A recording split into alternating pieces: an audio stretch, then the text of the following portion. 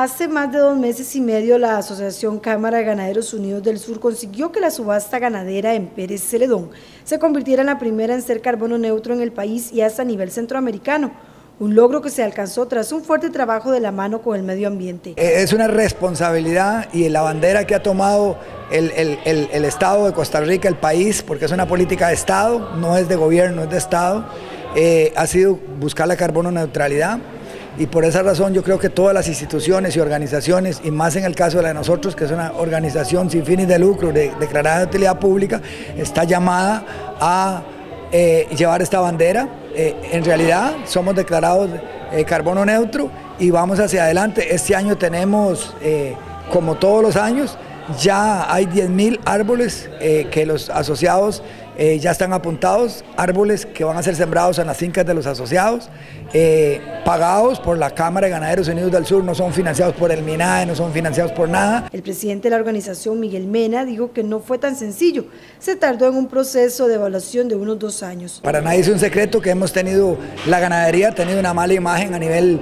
a nivel mundial y a nivel, obviamente, país a pesar de que nuestra ganadería es diferente porque es a base de pasturas, pero sí efectivamente hemos tenido una mala imagen a nivel mundial, cosa que nosotros ya este país ha revertido bastante y que ya hemos demostrado que no es como se ha dicho, pero eh, sí, eh, ha costado como todo. A nosotros, quien hizo todo el, análisis para la certificación, para luego pasársela al, Estado, que es el que al fin y al cabo el que le da el, último, la última pincelada, eh, lo hizo la ERS, eh, una de las organizaciones más técnicas y científicas de este país, eh, que se llevaron casi dos años en todo un proceso con nosotros, primero capacitándonos y enseguida viendo ver todo, todo lo que nosotros teníamos que hacer, llevándonos de la mano hasta lograr el objetivo que es ser carbono neutro. Este es un gran mérito para ellos. Es la primera subasta del país y también, obviamente, la primera del país y seguro por fuera del país, porque en Panamá tenemos subastas, en Nicaragua y ya en Honduras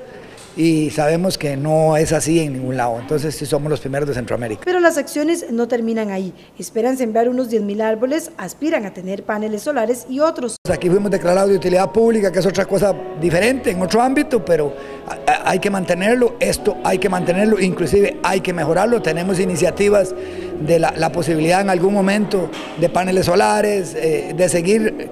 Eh, seguir con un compromiso, como le digo, de sentido lógico y sentido social que tiene que tener una organización de este tipo. En la Cámara afirman que continuarán trabajando en pro del ambiente.